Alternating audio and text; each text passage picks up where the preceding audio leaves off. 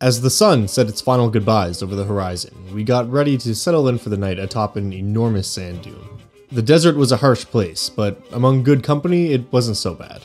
As we began to settle in for the night, pitching the tents, starting the fire, we felt what started as a soft rumble through the sands. An earthquake, we thought at first? But before we could duck for cover, two massive fins began to rise out of the shifting earth, showering down upon us the same sand just moments ago we were resting upon. A being of impossible size rose from the surface of the desert, making its ascent into the skies, us along with it. Looking around, there were many others just like it, preparing for a journey through the air. I just hoped we would not find ourselves to be unwelcome stowaways.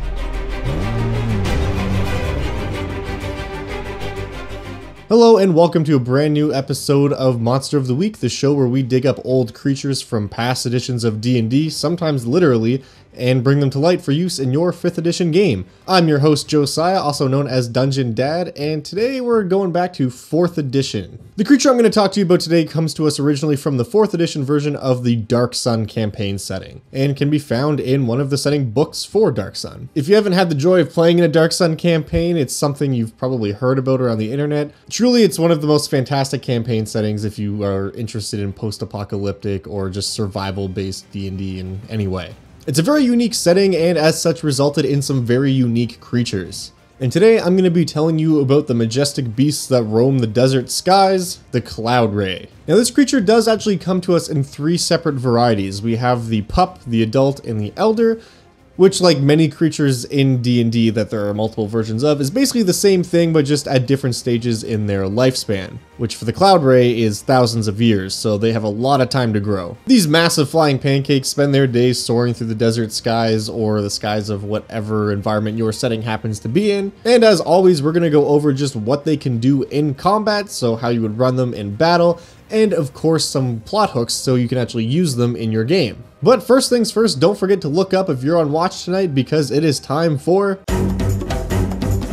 So when talking about these creatures, I think it makes the most sense if we start with the smallest one and work our way up to the biggest one. So at the very bottom of the totem pole, we have the newly born Cloud Ray pups. Don't let their name fool you though, because they are actually quite large. Literally, they are large in size, so these creatures are babies, but they're about the size of a horse. They have a fly speed of 50, which is pretty fast, and they do have a move speed of 15. They're gonna be flying through the sky all the time, but for whatever reason, if they're pinned to the ground and they are forced to move regularly, they're basically just gonna result to flopping around trying to get where they need to go, so they're not too fast on the ground. As far as attacks actually go, they're pretty basic. They have one move called Sting, this is, of course, inspired by the creature that these guys are based on in real life, the Stingray, and it's a 10 foot range attack that causes a bit of thunder damage, and it forces a save, and on a failed save, the creature takes some lightning damage as well, and if they fail their save by more than 5, they are paralyzed. It does have one second action as well called Gliding Attack. This basically allows the creature to make a sting attack and then move wherever it wants within its move speed without taking any attacks of opportunity.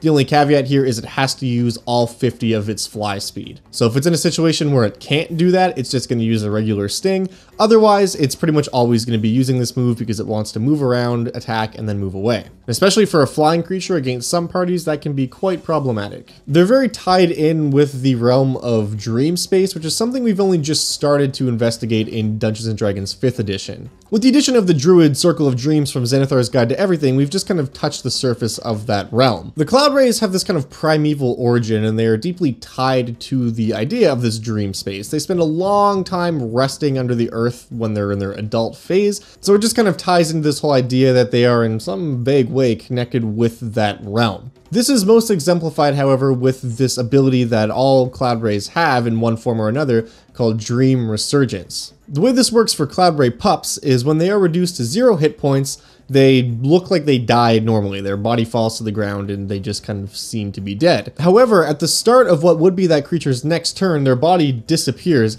and the creature reappears up to 50 feet away with one hit point remaining. And of course, this Dream Resurgence ability can only be used once per day. This is very much magical and supernatural and why these creatures are very much monstrosities and not simply just beasts. Now this Dream Resurgence type ability does manifest differently depending on how old the Cloud Ray is, but we're going to get into that in a second as we move on to the Cloud Ray Adult. The Adult is huge in size, has more than twice the amount of hit points, 311 to be exact, and much like the smaller one, it also has that same gliding attack where if it uses all of its move speed, which is 60 in this case, it can make its attacks without taking any attacks of opportunity. But this guy doesn't just sting, he also has a bite attack. It bites down with its crushing jaws, and any creature that is unfortunate enough to be hit by this bite is also grappled by the creature.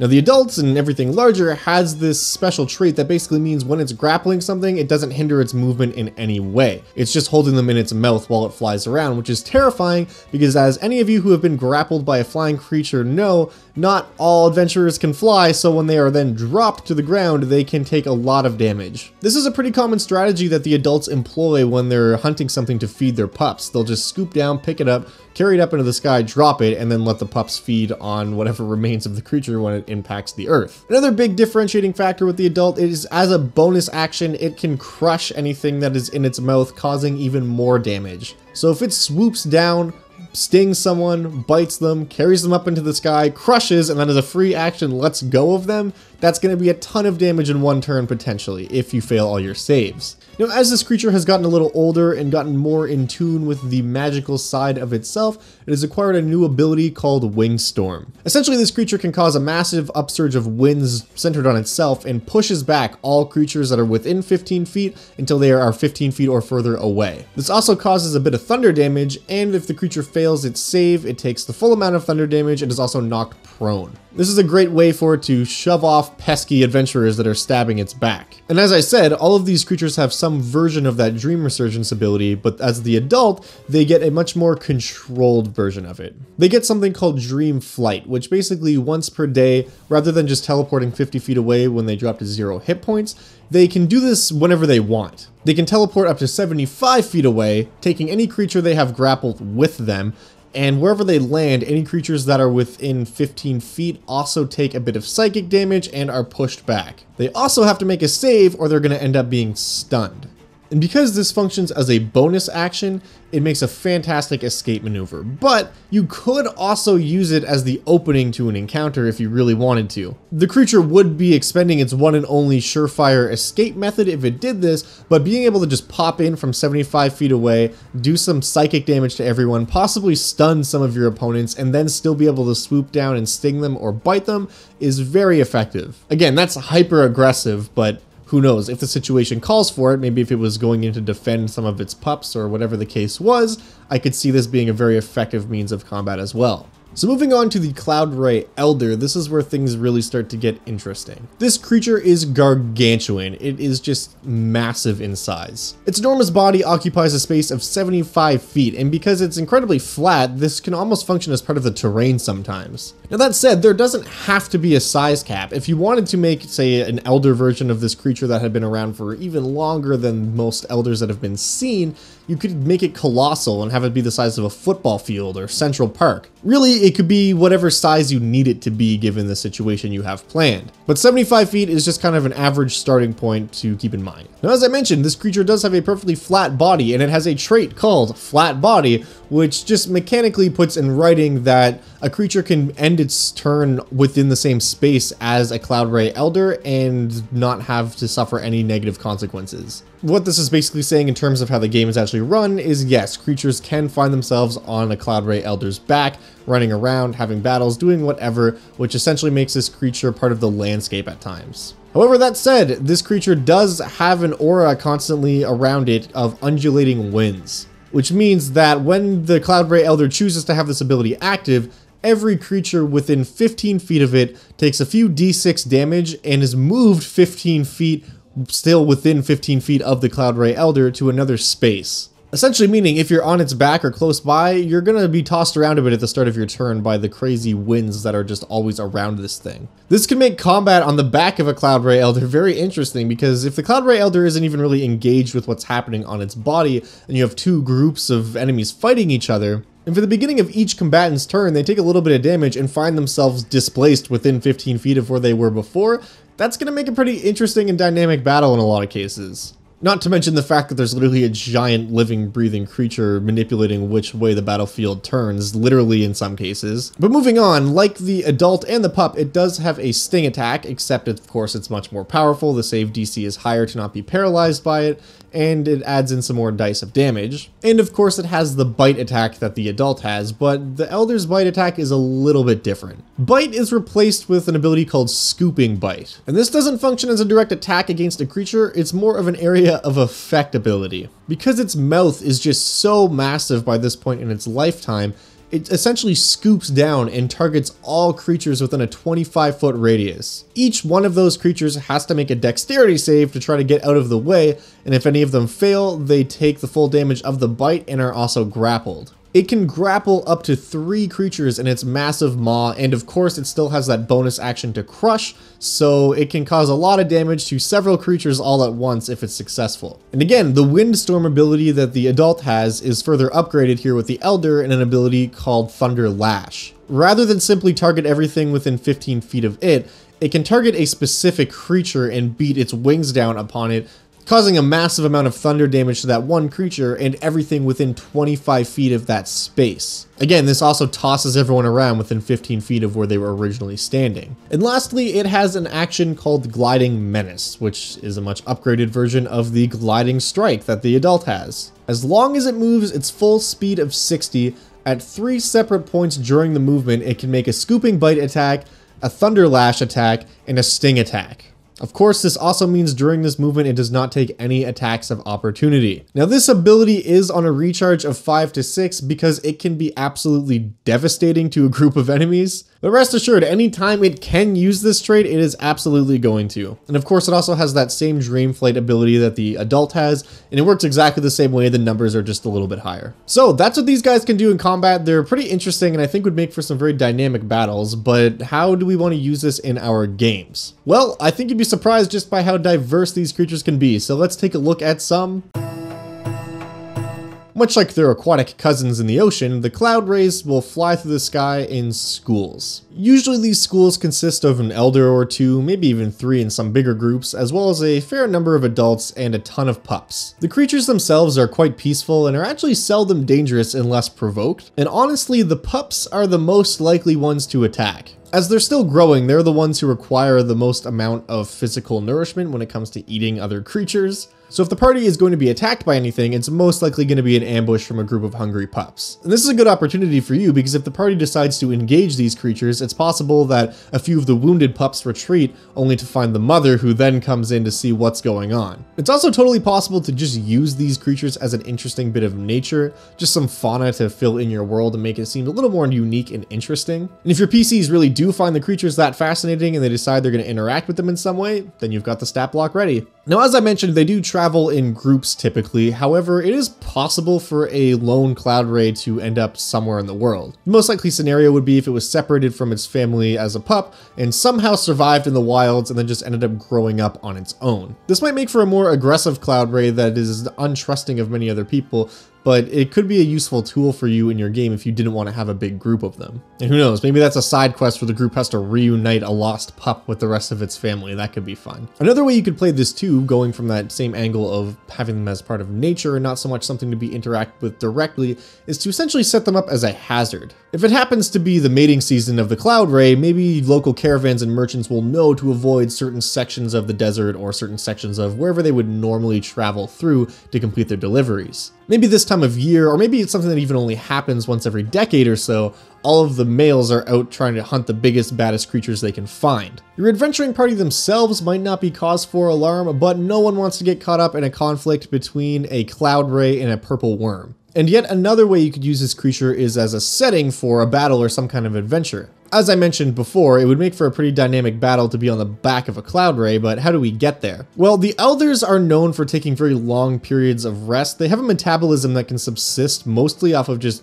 arcane energy. They very rarely need to actually eat, so sometimes they'll go to sleep under the sand dunes or again, wherever your setting is, and they'll be there for years, sometimes even decades at a time. So maybe what seems like a particularly large sand dune that your party rests upon for the evening actually ends up being a cloud ray who then ascends into the sky with the party on their back. Maybe it's possible that the party has a random encounter that night and they're attacked by a group of orcs or something. And the combat happening almost directly on the back of this massive creature is enough to rouse it from its slumber and it takes off into the sky with the party and orcs still battling on its back in tow. And then of course, once the battle is over, the party just has to hang on long enough so that they don't fall to their deaths, and who knows where they might land and end up. This might take a routine journey from one town to another into a place of survival where the party's just trying to figure out where they are and get back to where they wanted to go. Another possibility here too is maybe a group or some kind of society has domesticated a Cloud Elder. Perhaps there's a Cloud Ray Elder that's home to a group of nomadic monks and they work in tandem with each other, kind of like a symbiotic relationship. The Cloud Ray takes them where they need to go and in turn the monks protect it and offer some kind of companionship to this creature.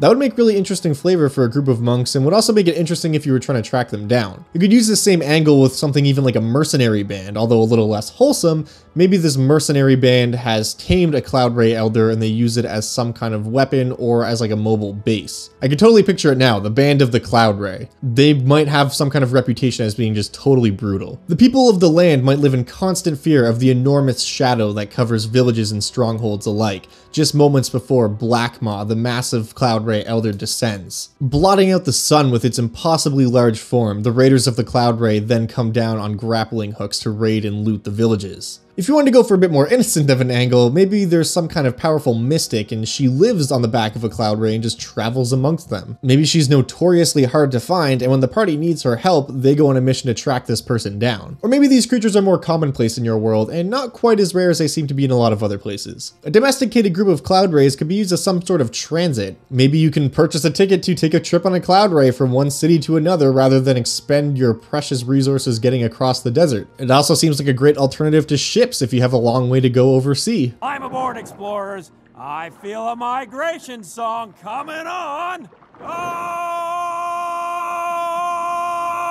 Or for more of a mysterious kind of adventure, maybe they're being hunted by something. Dead cloud rays are showing up around the forest's edge, and there's a group of local citizens from a tribe nearby that are very concerned as they kind of revere the cloud rays, but also wonder what could possibly be hunting such massive creatures like this. As I mentioned before, they have this kind of weird nebulous connection with the realm of dreams, so if you happen to have a Circle of Dream druid in your group, maybe they feel some kind of calling towards this locale and they're not really sure why. Every time they fall asleep, they just feel this mystical connection to some place. So the party goes to investigate, and maybe upon arriving, they have some sort of supernatural encounter with a Cloud Ray Elder who asks them for their help. Perhaps they're being hunted by an evil black dragon, or something equally terrifying and large that would be able to actually threaten Cloud The party then has the option to help them and maybe they're rewarded with some kind of boon in return. Maybe instead of cloaks of the Manta Ray, they're all given cloaks of the Cloud Ray, something that allows you to have swim speed through the air once a day. But ultimately, these gargantuan sky pancakes are among some of my favorite creatures from 4th edition, and I really hope you can find a way to fit them into your game, even if they're just used as a set piece or an interesting vista while your party looks over a cliff's edge. If you have used these creatures in the past or had them used in one of the games you've played in, please tell me about it it in the comments below. I would love to hear about it. And as always, if you would like to use this creature in your game, you can find a link to the stat block in the description below.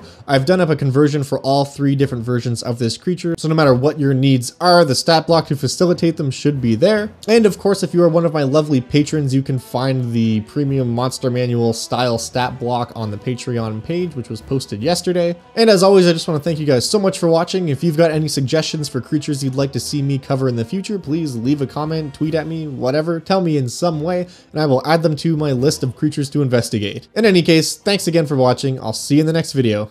Till then,